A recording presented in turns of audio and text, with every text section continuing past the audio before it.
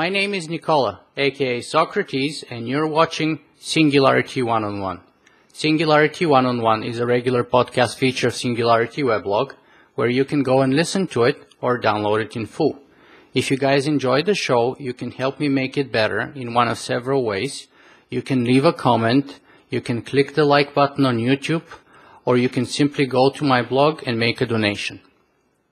As always, I will be the man with the questions, and today the man with the answers is Zoltan Istvan. Zoltan is an award-winning journalist, volcano boarder, entrepreneur, and most recently, author of The Transhumanist Wager. Welcome, Zoltan. Thank you for having me. Fantastic. I'm really happy that uh, you managed to find time to be with us today. So let's jump right in. Tell us, what is The Transhumanist Wager?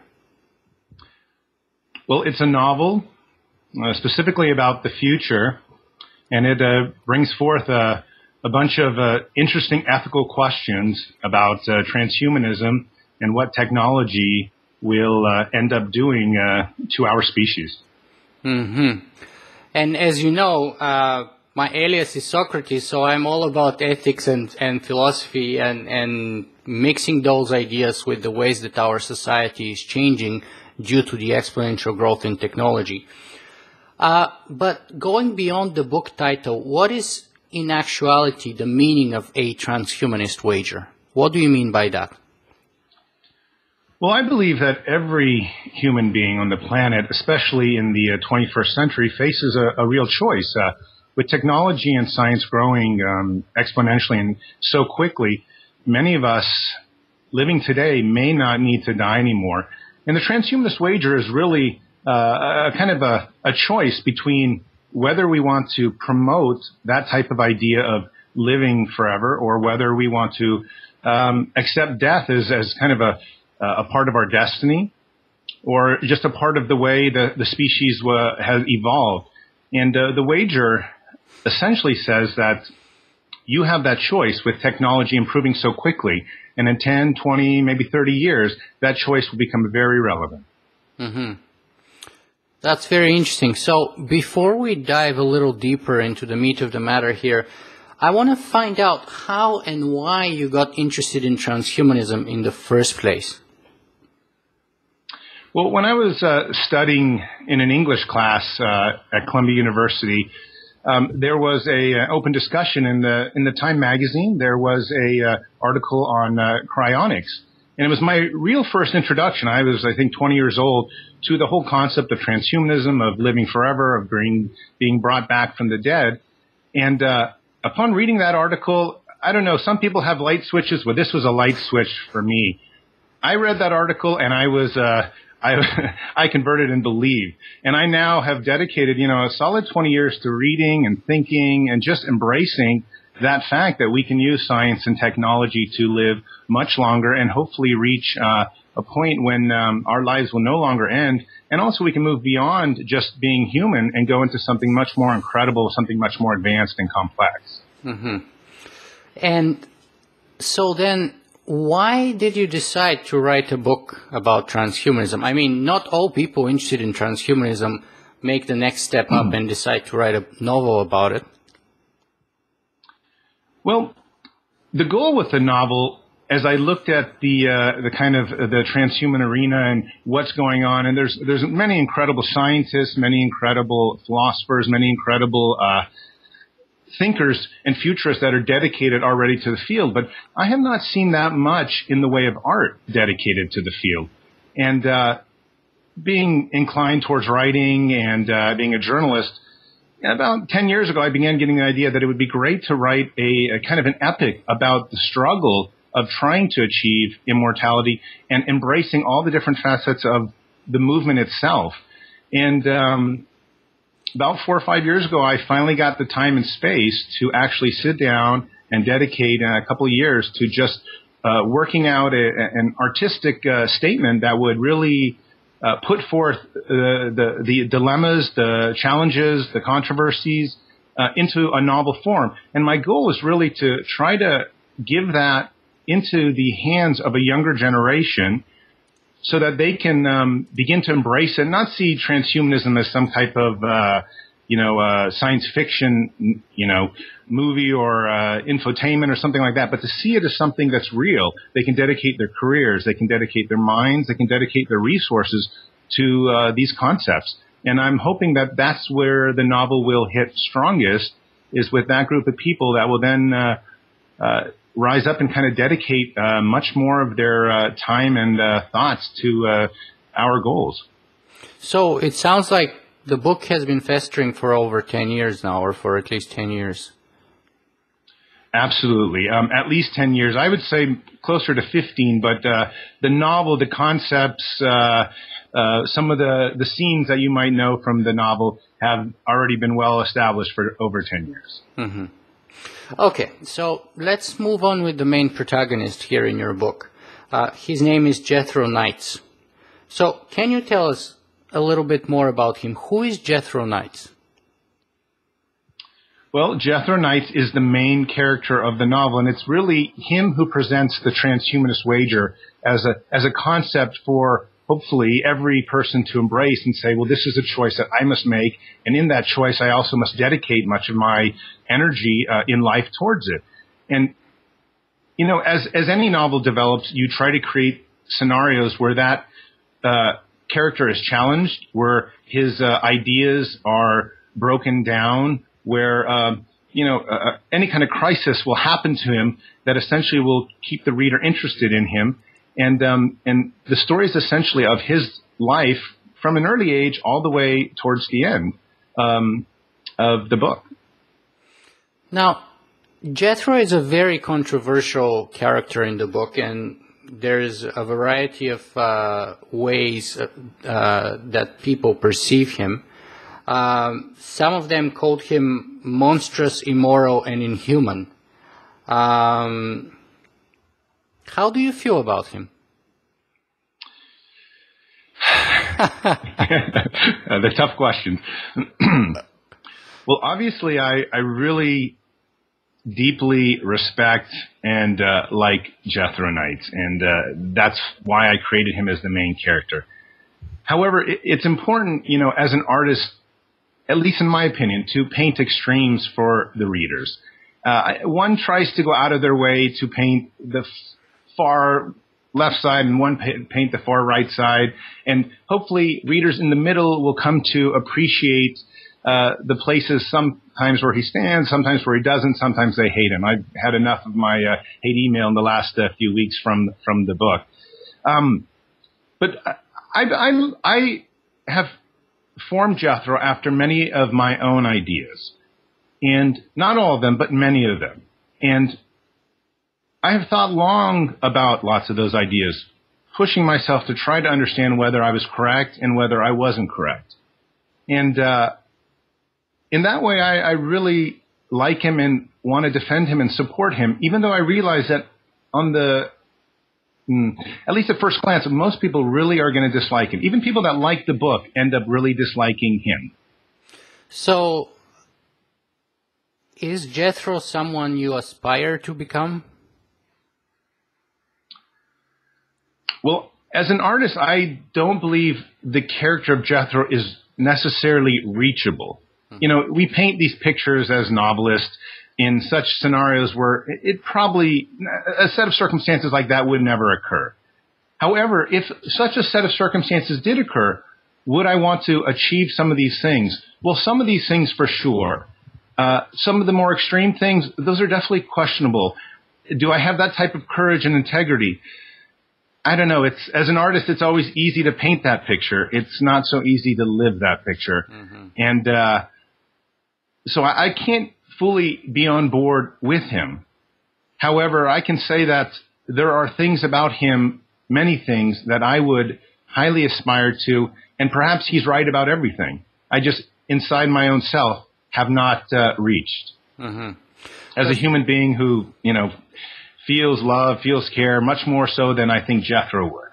Mm-hmm. Because what was striking to me is that, you know, after I read your biography, there's um, almost infinite amounts of similarities. I mean, uh, going beyond the looks, which I think are very similar at, at the very least, but but also, uh, you know, he was a journalist just like you are. He took a, an around the world trip with 500 books on a boat, just like you you did. Uh, his wife was a, a, medical doctor, just like yours. Um, he had uh, war experiences in Kashmir, and you got uh, an award-winning uh, for journalism uh, for your experiences there. And one of the crucial key points, turning points in, in the novel is uh, when Jethro steps on a landmine which doesn't explode, which fails to ignite. And you yourself admit that you had this life-changing experience yourself. So I mean, how much of him is reality and, and or autobiographical? Well, you know, the first third of the book is quite autobiographical, of course, um, and certainly some of the uh, the Kashmir uh, stuff is taken verbatim. I mean, even I think the uh, article in the the book, the short snippet of it, is taken directly from one of the National Geographic articles. Um, however, you know, two thirds of the book really is not about anything about me. It's more the idealized version of where a character might go under a certain set of circumstances. And, you know, I didn't mean to make Jethro look like, like me. They just, actually, when you read books, you realize there's not that many uh, blonde characters. And so there were some other, you know, thematic differences for why I chose that, as opposed to just trying to picture it off me. I really did not mean to do that. He, he started off as a, uh, as a, uh, a character with black hair and black eyes. and then I realized that every science fiction movie had that same kind of character. So uh, I thought I'd pick something a little bit uh, more unusual. And um, so while there are similarities, um, certainly there are differences. And of course, the similarities are pretty prevalent in the very first third of the book. And then later they just really drop off. Mm-hmm. And, and so for, for Jethro, that moment of the unexploded, uh, unexploded landmine, which in, in the novel is in Congo, actually is a life-altering experience. Now, your experience actually, if I'm not mistaken, happened in Vietnam? Yes, that's right. So how life-altering was that for you, and in what way, if it was? So my experience was slightly different than Jethro's. I never actually stepped on a landmine one of my guides, as I was stepping, pushed me and I fell down and missed the landmine. But I just kind of sat there and he pointed at it, this metal object sticking out of the ground as we were doing a film video. And, and I just sort of sat there, you know, for a whole solid two minutes, realizing that this was, this was, this was very real. And uh, sometimes as a journalist, tromping around the jungles and filming all sorts of incredible things, you forget that it's, it's real. And, uh, it was an important revelation to me in the sense that, uh, you know, in an instant, everything could have changed dramatically. But uh, certainly that was that was at the very end of the four years I'd been with National Geographic, and after that, I did come home uh, to America, where I then stay have stayed most of the time, except for a few ju- other journalism assignments, and uh, have begun really working on the draft of the book. So it played a, a, a key role in kind of stimulating that, okay, let's not get killed. Let's go actually do something for yourself and the movement. Mm-hmm, mm-hmm.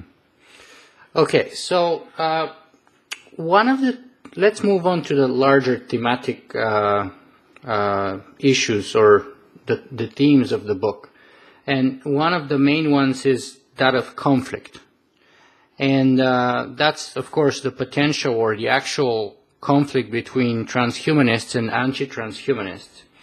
And um, I want to read a short passage of your book where you say, the conflict over transhumanism was straightforward. Futurists, technologists, and scientists touted transhuman fields like cryonics, cloning, artificial intelligence, bionics, stem cell therapy, robotics, and genetic engineering as their moral and evolutionary right and as crucial future drivers of the new economy and an advancing cultural mindset in America. Opponents said transhumanism and its immortality mantra were anti-theistic, immoral, not humanitarian, and steeped in blasphemous egoism. Others labeled it the world's most dangerous idea. So, do you really think that such extreme polarization and its consequent conflict is inevitable? I mean, there's a number of other people who have come up in the past in support of that argument. I mean, the former cyber terrorism uh, uh, leader, uh, Richard Clarke from the Bush administration, wrote a book called Breakpoint, where he talks precisely about that kind of a terrorist conflict. Uh, Dr. Hugo de Garis, who is a well-known uh, researcher in artificial intelligence, has his own concept of Terrans and cosmists who come into conflict uh, as a result of that kind of a friction. So there's a number of people who have come out.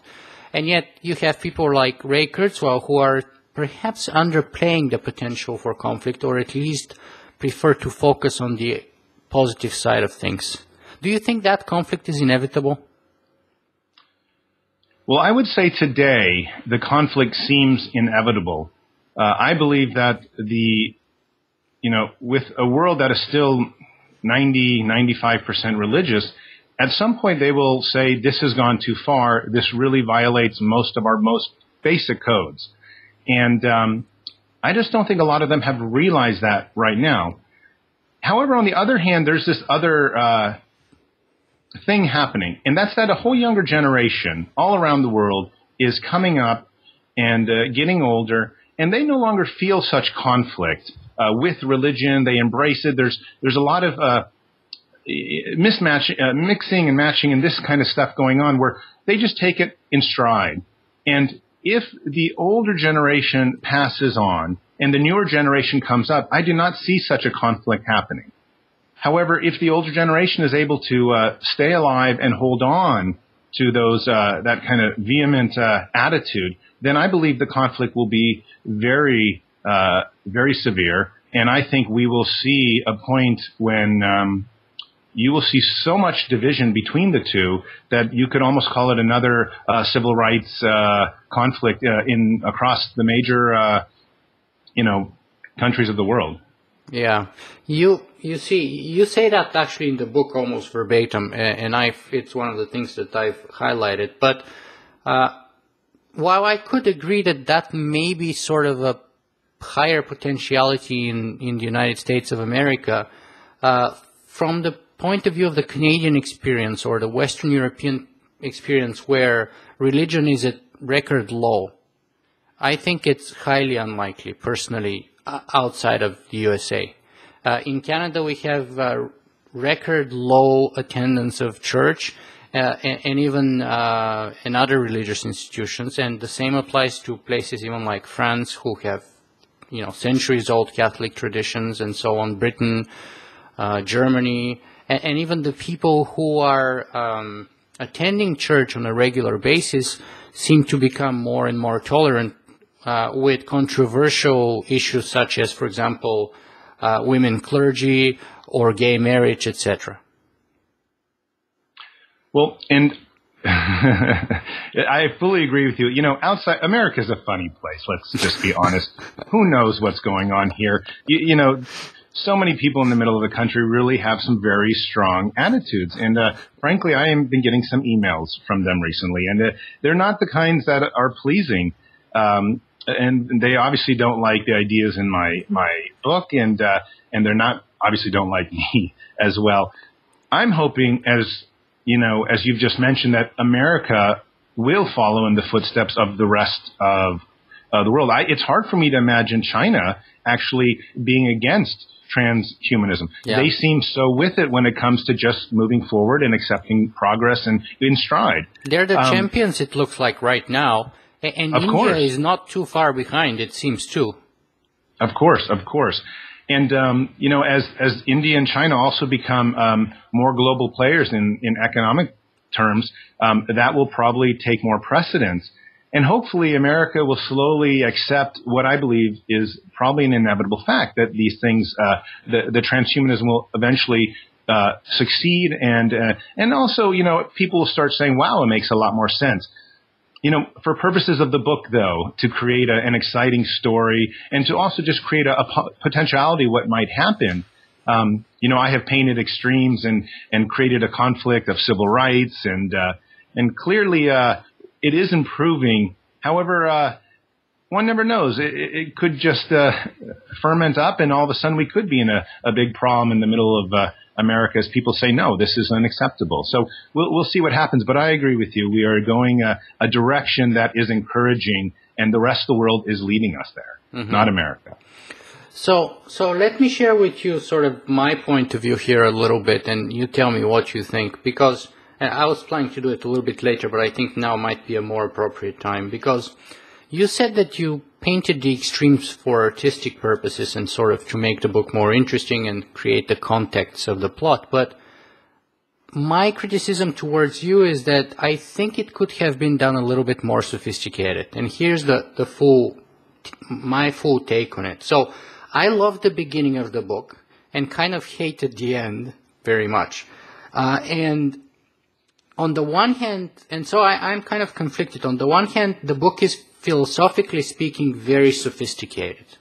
You can see clear influences from Plato's Republic, from Nietzsche's Overman or Übermensch, from Thomas More's Utopia, and from a number of Eastern and Western philosophies on the other hand, it is kind of simplistic in its sort of an Atlas Shrugged type of a plot, which I would call, in which, you know, the government is like the arch evil, and then the, the, the lone hero changes the world, sort of, uh, who goes against the government. What do you say about that kind of a criticism? Well, I believe from an artistic perspective, um, it is sometimes easiest to get one's message across when they paint simple strokes so that someone can approach it who doesn't know anything about transhumanism. I told you this in my emails. Uh, much of the book is actually uh, repetitive for transhumanists, redundant for them. They know what's going on. They don't need, they, they made the choice about the wager a long time ago. And the book was really written for the person who um, has not thought about these things, who has thought the word transhumanism means something science fiction, maybe some movie that they saw 10 years ago. The, the book was written to paint simple strokes to take people who have not thought about it and say, hey, this is happening, this is real, and uh, I would like you to think about it and to make your own choices so that you can uh, hopefully pursue um, the mindset, the cultural mindset that will be coming in the next 10 to 20 to 30 years because of technology and science improving so quickly. And that's why I specifically have painted something that is uh,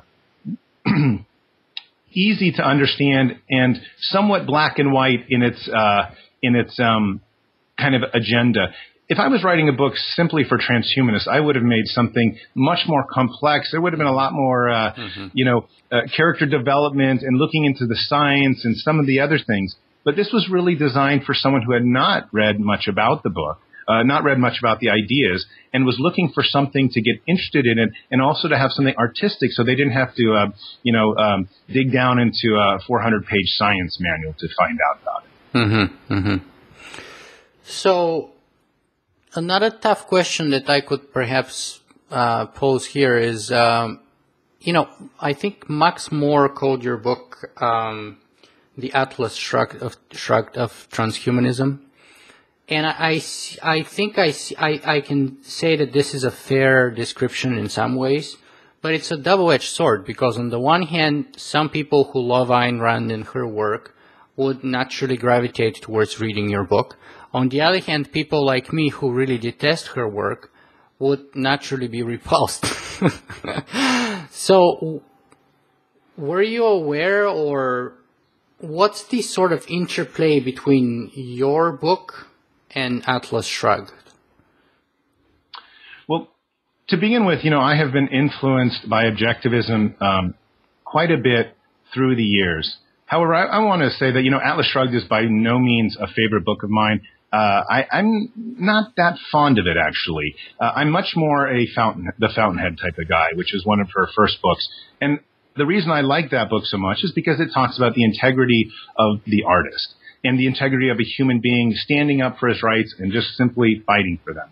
Um, and I understand some of the elements of Atlas Shrugged are also in my uh, book you know, most of the objectivists that I have tried to get to read the book have have have really been against it. Of course, there's no improving on her on Ayn Rand's philosophy, and if you try to do that, you get in trouble. Even though I said, well, you know, 30 years of where you know robots with artificial intelligence, maybe a new ethical system will be necessary. In fact, of course, a new ethical system Absolutely. will be necessary, and they disagree with that. However, um, you know, it, it's true that I have incorporated a few elements, and I've tried to improve on many of those elements. Um, but I can tell you, as you noticed right away, that even mentioning uh, uh, Atlas Shrugged in the context of my book at this point has done nothing for me, at least nothing good. Mm-hmm. And um, you know, while Atlas Shrugged remains one of the best sellers uh, today in the long term, yeah. uh, I'm not sure it's actually winning anyone over in the meantime, as I uh, probably just contributes to the hate email. Now, speaking with uh, uh, on about uh, um, disagreements with some of the elements of objectivism. Uh, I, have had previous guests on my show where I've argued that you know it only makes sense, at least to me, that when we change our socio-political economic system, you know, after the birth of artificial intelligence and all the other exponentially growing technologies that are developing today, it only makes sense that capitalism would go obsolete, just like all other previous economic systems. And, you know, notable economists such as Robin Hanson, for example, and others have absolutely disagreed with me. What's your view on, on that? Well, this gets a little bit outside of my expertise, so uh, now I'm sort of winging it. Um, but my guess is that uh, there has to be some element of competition in the system, regardless of what happens. And whether that uh, remains a uh, a capitalistic endeavor, at least in economic forums, uh, is is yet to be seen. But I, I do believe that we, it is in our best nature, and it is uh, the main driver of evolution to compete. And so I believe whatever system we create, there must be that element in it for us to um, at least advance as quickly as we are advancing. Now, I'm not saying it's going to be there. I'm just simply saying that um, I am believing that it is probably the best system for us evolving as quickly and efficiently as possible, which is, you know, one of my primary goals. Mm-hmm. So would you call yourself an objectivist? No, I definitely would not call myself an objectivist at this mm-hmm. point. Because there's alternative views. And, and, you know, I have to admit that I myself also agree that there has to be an element of competition. That's my personal view or bias, if you want to call it that way. But there are other people. Uh, for example, I'm currently working on an interview with Jacques Fresco, who believe that uh, you know we can have a future of cooperation, uh, where people are cooperating with each other rather than competing with each other. And I mean, he puts forward a very strong argument about resource-based economy and all that, but his so-called Venus project. Uh, but one of the things that he described was his experience on an island uh, where the natives sort of lived in a post-scarcity environment where they had plenty of fish, plenty of food, plenty of fresh water, and, and plenty of living space. And how when he went to the island and one day uh, he told them, "Oh, um, can we make a boat, uh, a canoe? Because I want to go out, you know, with you."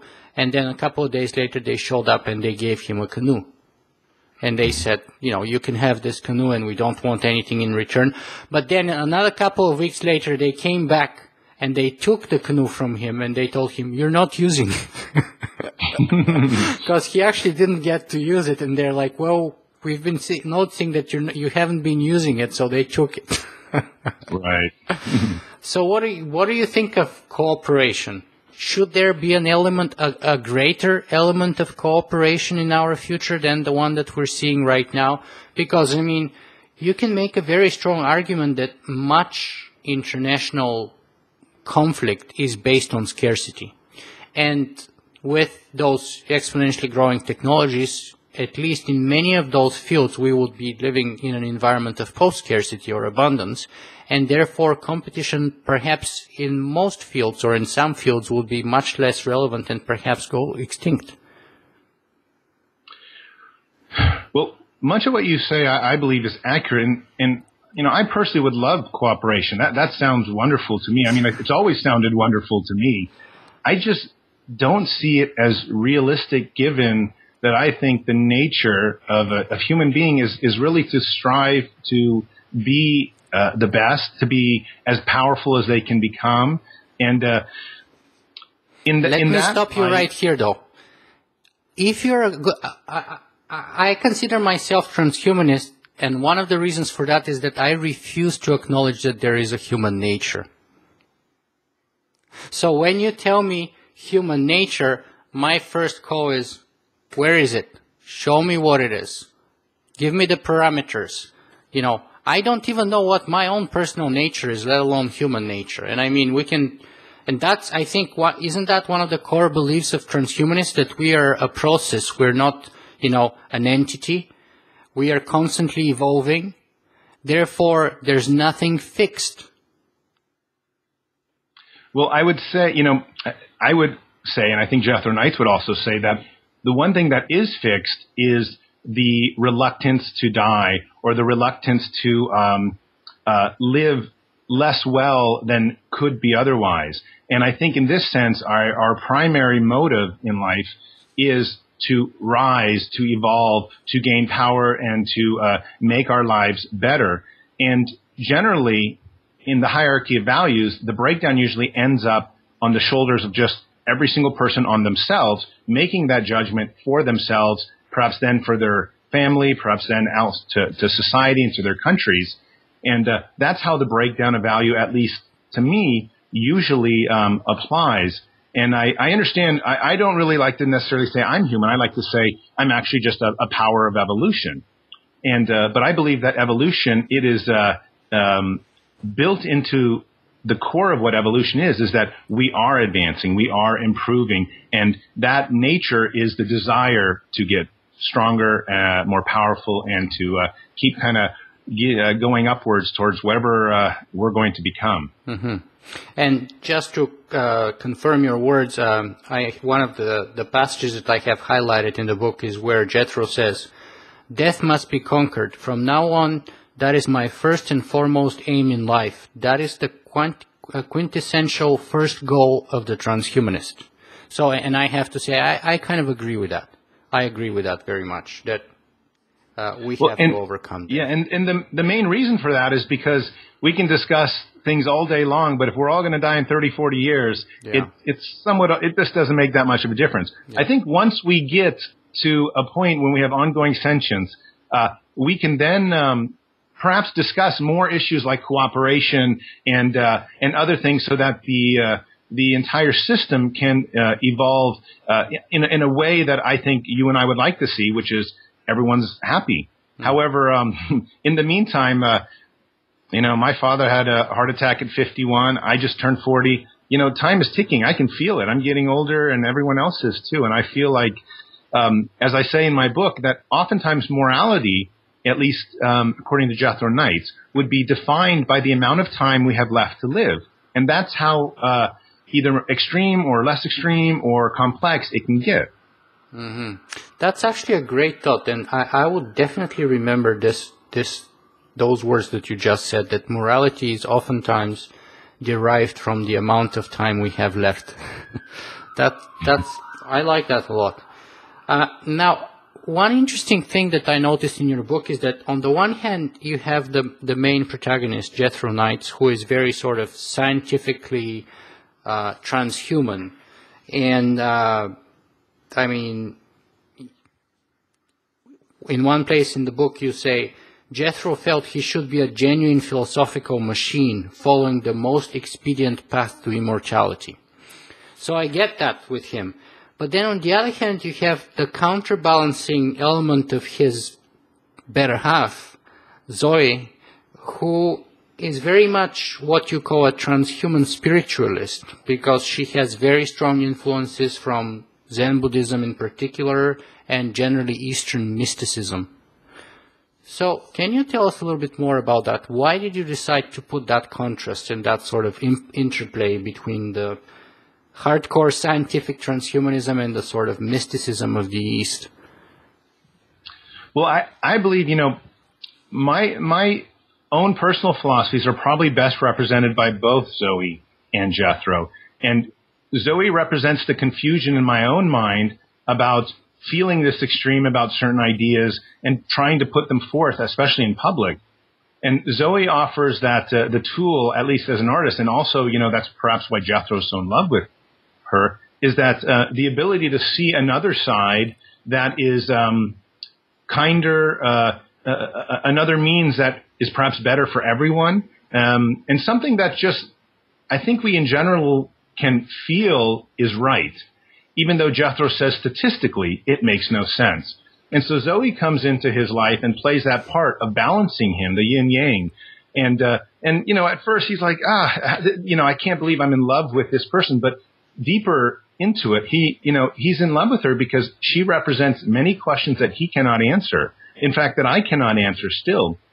And, uh, at some point I will be, um, working on a sequel and the sequel will involve Zoe coming back and Jethro and Zoe really having it out and just and going as far as I can philosophically into the nature of love. And at what point does it really break down? At what point does one have to say, you know, this is something I can no longer do uh, when two machines, for example, are trying to interact? Mm-hmm. And uh, you know, the the nature of the book would not involve that right now. It just involved the the you know letting the reader know that there are still many unanswered questions, and Zoe does a great job of uh, presenting them to Jethro that he just simply can't answer. Mm-hmm. That kind of reminds me to Aristotle, I think, who said that true love can only exist not when two people are in love with each other, but when both in love with the same virtues. so true, very true. So let me ask you uh, another question here and uh, move on to the topic of the technological singularity. So in one place of the book you say the following, quote, Jethro Knights and every person in that conference center knew this was not about transhumanism, but about successfully navigating the possibility of a singularity, controlling artificial intelligence and merging with it once launched and not being destroyed by it or left behind by it or bedeviled by it.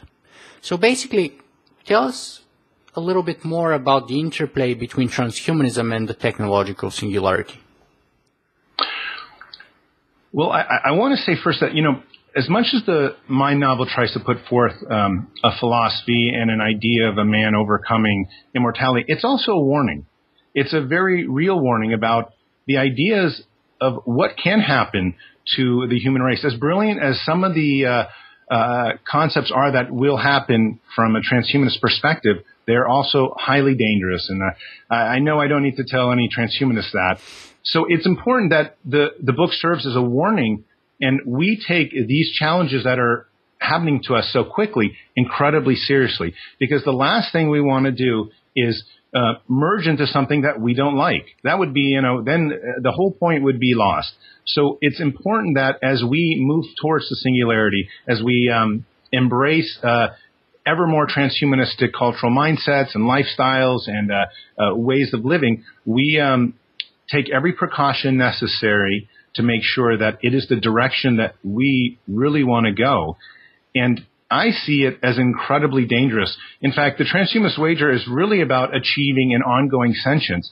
Uh, as as as extreme as some of the ideas in the book may be about achieve, you know achieving immortality, I think when Jethro would get to that, and, and, of course in some other sequels he will, he will be much more cautious than I think most people would, uh, after reading the first book, would be led to believe.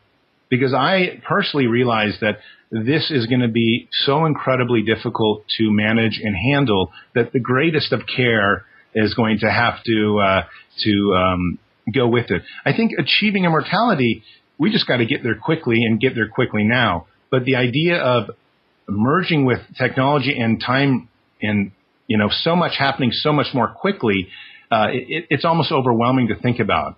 And uh, and I am, you know, I would like, in that sense, I would want to go very uh, cautiously and carefully. Of course, I want to do it 100%. I, I can't see anything more brilliant.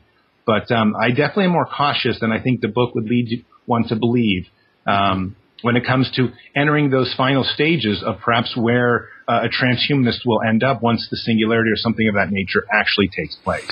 So then you, you sort of see it a lot more likely that immortality will be accomplished along the, the lines of biology, at least initially, with, say, uh, genetic engineering or synthetic biology or whatever, rather than uh, immortality being accomplished by us becoming, for example, mind uploads, for example?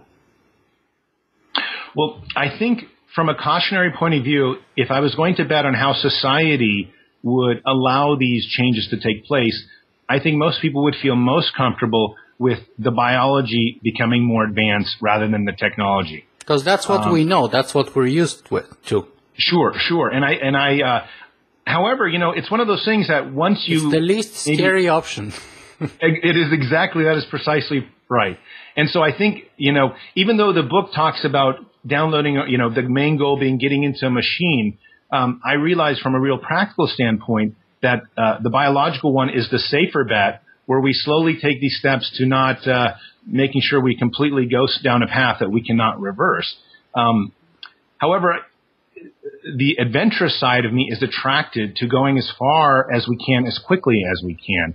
And in that sense, the idea that um, we would um, entirely be amongst machines, entirely be amongst electrical signals, you know, it, it sounds wonderful. It's just, it's almost impossible for you and I to even talk about that kind of subject as we don't even know the logic, the philosophies, the ethics, what language would it be? You know, it's such a different mindset. I think when we talk about biological immortality, we all understand more or less where we're going. We're gonna, we're still gonna be able to have this conversation. Um, we may not, it may not be the same thing. We're both inside machines. Mm-hmm. So let me just ask you the last question on this topic of the singularity here then. Do you think it is possible, probable, or inevitable? I think it's probable. And I think it's probable because there may be a number of factors that get in the way. And believe me, I want to say it's inevitable. I want to say it's inevitable and I support it being inevitable. However, I, uh, I realize that there are many things against us. In fact, my book is uh, a book about about the rest of the world really saying, "Hey, th- we, this cannot happen. This is going to violate virtually every code that many of us believe in." We don't want your singularity. Keep it. Yes, yes, exactly. We don't want your singularity. um, however, I and for that reason, I think it's probable. I do believe that transhumanists will uh, overcome anything that tries to get in their way. And I do believe they'll eventually um, march right into trying to embrace the singularity and go into it. Um, but I do not see it as necessarily something uh, inevitable. Uh, I feel it's going to be a struggle uh, to get everyone on board, and and I think um, through that conflict, uh, some uh, great changes will have to take place, including a cultural mindset of of much of how the, the globe views itself, how humanity views itself. Uh, mm-hmm. And, and in, in, that sense, uh, so much can happen because if too many people say no, those too many people will likely win, and that probable goes probable then goes to maybe not anymore. Mm-hmm. Okay, so let's move on, uh, and you can perhaps tell us a little bit about transhumania. Well, transhumania is is that concept I think that we all would dream of. This this place, this city, uh, away from restrictions, from bureaucracy, away from government, away from anything that's ever gotten in the way of uh, anything that's ever stifled innovation, away from that. And where you are just amongst the greatest of friends. Uh, everyone thinks um, scientific thoughts. Everyone thinks innovation. Everywhere you look, something interesting and brilliant is happening. Uh, it's a dream, and you know I put it in the book as the ideal that one could reach, especially as those people that are leaving are leaving because they are not happy where they're at, and they want more opportunity to do the things that they most want in their life. And so transhumania was created as that ideal where you know the best scientists and thinkers and futurists in the world could go live together, raise their families, and work towards conquering um, mortality and work towards you know becoming truly transhuman. You know, I'm actually one of my interviews. I have like 20 interviews that I'm working on to get the people to the show, but one of the ones that sort of I'm working on is, uh, and I don't want to give out too much details right now, but a, a group of people who are trying to buy an island and start a transhumanist community. so what do you think of that? And I'm not talking about a novel, I'm not talking about fiction, I'm talking about go with a specific group, and I hope to get them on my show soon. Uh, and they're very serious about it. Well, you know, I think something like that is wonderful. And ultimately, I never, you know, in real life, I believe that it wouldn't just be one transhumania. There would be a number of transhuman um, population centers where, you know, sort of like universities, where people just simply go and say, well, this is the general theme of this type of uh, community. And there's many of them. There's 10, there's 20, there's 30. And I wouldn't be surprised if pretty soon we start seeing universities saying, well, one of our main goals is to work towards this. And already, you know, we have certain scientific centers that, in many ways, that's where the, what they're trying to do. And uh, so I think that kind of community is fantastic. And I would love to see more of them. And I would love to see a giant one. And who knows, maybe one day uh, it will become such a well-established trend that there will be, um, you know, we'll all go on vacation to these places. Or to live there permanently. Or to yeah, or to live there and work. Maybe you'll be uh, you know doing the interviews from atop of a skyscraper somewhere. I wouldn't mind that. That's for sure. However, as we'll talk about in a little bit later, I wouldn't do it under all conditions, and under certain condition conditions, I will be the first one to leave. So we'll talk about that in a second. But before that, let me ask you, from your own point of view, the transhumania you talk about in your book, is that a utopia? you know, utopias, dystopias, they, they, all, you know, various forms of perfect societies or problem societies or whatever it is that we have, they have always kind of bothered me because I realize, you know, in the real world, it doesn't happen. Of course, as a novelist, I have created what, you know, most people will say is a utopia, and even I try to design it as a perfect place to go.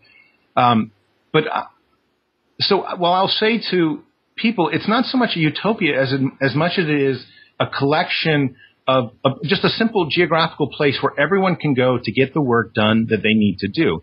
And usually utopia means lifestyle, this and that. And of course, you know, I painted all the pictures of what transhumania is. But the core of transhumania is that people can work in peace. People can work without restriction. People can do their experiments and there's enough funding and, you know, they just don't need to worry about the day to day stuff in order to do uh, get the job done to uh, achieve immortality and move transhumanism forward. And um, that's more of a, a, university type idea to me than, let's say, a utopia. That's why they leave. It's not a community that they necessarily want to. Uh, um, even though I think many would say, "Oh, we could stay here forever." Um, I think they really don't want to be on transhumania. They had to go there to get their job done. Aren't there places who already do that today? maybe small centers. I don't know, like Singapore, perhaps Switzerland, northern Scandinavian Europe, sort of parts of Canada, maybe. I don't know. You've traveled way more than me. Well, and, and certainly there are places that, that are better than others, but I don't think, at least that I know, there is one single place that we can all go and say, ah, this feels like home. Um, and I mean, maybe Silicon Valley for me, uh, living here is, is one of the closest places that I can actually say that, where I, you know, I drive down and see all the technology buildings and say, I just feel great here. Mm-hmm. Um, but you know, th- there's just not that many places that are so large and all encompassing where you would say, oh, let's go there, and uh, the whole family would agree that it's a wonderful place. Yeah. And uh, you know, in that sense, Transhumania is this great ideal. Mm-hmm. Yeah, I have to admit myself that uh, while I was at Singularity University in Silicon Valley for 10 weeks, I just, that, that's the one place that I would love to be permanently. It's just, I love that place. It's so amazing. It's boiling. Things are happening there all the time. It's, it's inspiring. It's, it's, I, I just really love it. Um, is Transhumania the place that feels like home to you? Would you want to be a part of trans, a citizen of Transhumania? Absolutely. I would, I would love something exactly like that. Mm-hmm. Exactly like that. Well, not necessarily exactly like that. I wouldn't want a circumstances when we have when you know a group of scientists has to be ostracized from the rest of the world. But I would like a set of circumstances, sort of like you just described, the Singularity University, where everyone comes and goes, and what everyone is doing is so interesting. And uh, I don't think uh, it's possible to get bored in a place like that. And uh, and you know, one of my main goals in life is just to keep it as interesting as possible. Mm-hmm. And uh, in a place like that, you you know, you, it You're would never be that. bored. Yeah. Yeah. If one thing you don't get enough time to sleep because there's so much cool stuff oh. happening all the time. exactly. At least exactly. that was my biggest problem when I was there. I couldn't sleep because there's always something cool going on.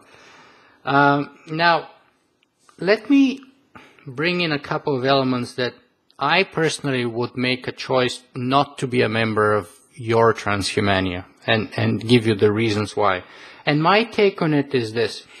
I probably, if I were to be a fictional character in your book, I would have probably fought all the way through to the very end and quit right at the victory parade. And the reason for that is this, and I, I, I want to read you a couple of passages and, and tell you what makes me very uncomfortable there. Our interpretation of values taught us that evolution and its ascent of technology do not operate off democratic principles, but off principles of might, of principles of survival. Transhumania will implement, a, and, and I'm skipping passages, but I'm just going to give you a few. Transhumania will implement a strict worldwide family planning policy. People who can reasonably and successfully raise children will be allowed to procreate and encouraged to do so. All others will not be allowed to procreate. No pensions, no social security, no Medicare, public executions of criminals, police and military instructed to execute criminals on site if they were caught in illegal acts, curfews and martial law. So those for me, and I see how that's sort of the path that you have to go through and sort of the leadership that Jethro Knight takes our civilization through to get to that final point of transhumania. But for me personally, the cost is too high. Uh, the possibilities for corrupting the ideals are endless. Uh, and in that sense, I would call it utopian because in my personal experience, revolution is a bloodthirsty monster, as one of the French revolutionaries said. Once you, let it out, you, you cannot easily stop it. And you know, my own personal experience from the collapse in the in the eastern the communist regimes in, in Bulgaria, for example, is that you know people come out on the street and change the government, but uh, and and there's a revolution, but eventually someone ends up corrupting everything, you know, and that's happened with the French Revolution, with the Russian Revolution, with pretty much any revolution that I know of, the American Revolution, perhaps we can argue, and so uh, the cost for me is so high, and many of those elements remind me so much to regimes like Nazi Germany that even though I sympathize with the goals and, and the ideals of transhumania, I'm not willing to walk that path personally. Well, you know, this this cuts to the heart of the of the matter with how far one is willing to go to uh, achieve the goals of transhumanism and achieve the goals of immortality. And ultimately, you know, as, a, as an author, my job was to try to paint a story that would show how far the, the, the moral capacity might need to be of somebody trying to live forever rather than dying. And, um, and that's why I take it down this road. I mean, I'm completely with you, having been to a number of war zones, uh, that you know it is a bloodthirsty monster, and oftentimes the shift of power doesn't make a real difference for the general populace. They they get shafted one way or the other. They're in trouble, you know, and um, and I've seen it. I've seen it as as uh, different forms of government have come in and gone back to you later and said, "Wow, very little has changed, except you have new names." You know, in in of course, in the book, you paint it as an ideal. You paint it as such that well, Jethro's Knights, he's different and his government is different. And which is one of the reasons why at some point near the very end, he gives up, uh, all the power to go back to just being a writer and a philosopher because, you know, th- that's one of the great things about transhumanism is that all the power in the world will not buy you necessarily um, a, ticket into the singularity or even immortality. Actually, being near the technology is what's going to get you because sometimes the technology, as it's happening, especially in the singularity, is going to occur whoever is there at the right moment and kind of is. It, it's a contextual thing in many ways, and so I'm, i hope that comes out in the book as opposed to um, all the warring and all the uh, um, people dying and stuff like that. Uh, unfortunately, um, I don't really have another way to get uh, a society to change so drastically when many of the you know top transhumanists may not be here in 10, 20 years. And of course, there's cryonics and this and that. But the truth of the matter is that in the book, it seemed easiest to say this is um, a revolution worth fighting for. This is how far we may be required to go for our beliefs. However, I'm hoping that that is nowhere near the case. I'm hoping that we'll all stay on a path of cooperation. I'm happy as uh, hoping, as you had just mentioned, that you know we, the the book serves as a warning to the kind of things that we don't want to do. These are the reasons why we should try to embrace these things and move forward uh, amicably, um, hand in hand, sort of per se, and uh, and make these things happen just by um, you know being peers and being colleagues. And I'm hoping that we'll never have to go through that. And, uh, but you know, I think for merit of a story and also for trying to demonstrate how far the morality may need to go, and as every revolutionary knows, um, and I've met many of them and through the things I've covered, they're willing to die for what they need to do. And uh, especially since death is on the line with what Jethro Knights is talking about. And you have to understand, he's also a character whose wife is, and child have been murdered, and he he's you know has a lot going, a lot to fight for. Um, that's ultimately why I put those things in the book. And of course, there's going to be endless comparisons to uh, Nazi Germany and, and other places. But you know, the reality is that Jethro Knights is nothing like that type of person. He never wanted any of this. What he really wanted to do, and what I think all of us want to do, and what all of us should work towards, is um, working together uh, as peers and making the goals of transhumanism trans, you know, come to, to fruition without any kind of conflict whatsoever, and to do it as expediently as possible. And hopefully, a cultural mindset can uh, come about where people just agree that this is a good thing. And uh, you know, ultimately, that's why the book was written is to try to get people, uh, especially younger generation, on board to say, well, you know, we don't really want to go down this path, but these are the ideas we stand for and let's just embrace them and try to do it right here in America and China and India and work together. And one day we'll just be this great planet that uh, supports uh, incredible amounts of technology. Yeah, in that sense, I have to say I very much agree with you, and, and that's why I, I, I, despite you know my disagreements and, and stuff like that, I very much believe that your book is a must read for anyone interested in transhumanism but, even just broadly in the future of, of, of, of, our civilization, because you do very good job of painting the, the extremes, sort of setting the battlefield, if you will, setting the, the, the map, and, and then, you know, perhaps it's up to us to choose how far do we want to steer one way or another, uh, based on sort of that lay of the land as you've mapped it out very well, I think. Uh, and so, in that sense, I, I, do recommend very much, and will continue to recommend very much uh, the reading of your book. Um, one last criticism, and, and perhaps you can help me out on that too, is um, the lack of diversity in the outcome. You know, one of the reasons why I love transhumanism is that um, I believe that it allows for greater diversity than we have ever experienced or ever had in our civilization. Uh, and yet, in some ways, it seems to me that the final outcome in this book was rather homogeneous in the end. Is that a fair criticism to say?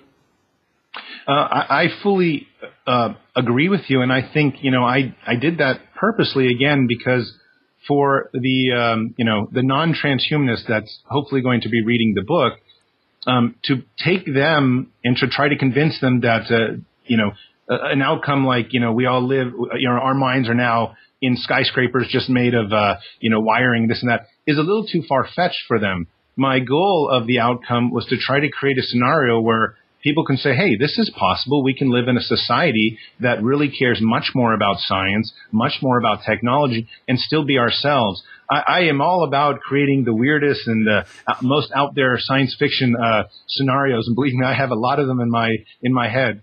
But um, ultimately, I came down with a pretty uh, formulaic ending, simply because I believe that's most likely what could occur with our society. And I also, you know, I want to stay based in reality. You know, I go through this entire uh, uh, story of this man trying to achieve this, and what is, you know, what he hopefully brings to pass is a society that has improved itself, that lives longer, that has less poverty, uh, less disease, and ultimately is probably quite a bit happier as well, and really looking forward to the future. And while that may seem a little mundane, or you know, at the same time, it's I think what many of us would really hope for um, in the next, let's say, uh, 20 to 30 years, which is the, the time frame that that could take place. Well, I myself very much hope for that. I just hope that, you know, we are able to do it in a way different than the one that it ends up being in the book. Uh, but as I said, you do a very good job of painting, you know, the, the extremes and, and mentioning the major philosophical and political and socio-economic issues that we'll be dealing with. Uh, so therefore, I do think that uh, it's very useful for people to read that book and, and perhaps reread it too. By the way. Uh, thank you. yeah, because uh, first it's fun as, as as a novel. It's fun to read. You know, it, the pace kind of starts picking up and picking up and picking up, and it sort of reaches a crescendo at some point, and the culmination. But at the same time, it doesn't fail to to bring in all those philosophical uh, points of view, even Eastern mysticism and Zen Buddhism, if you will, and stuff like that through the character of Zoe, which I think was very valuable.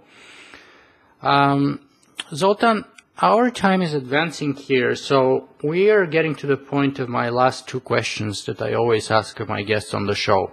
So the first one is, where can people find more about you and your work? Perhaps where can they buy the book?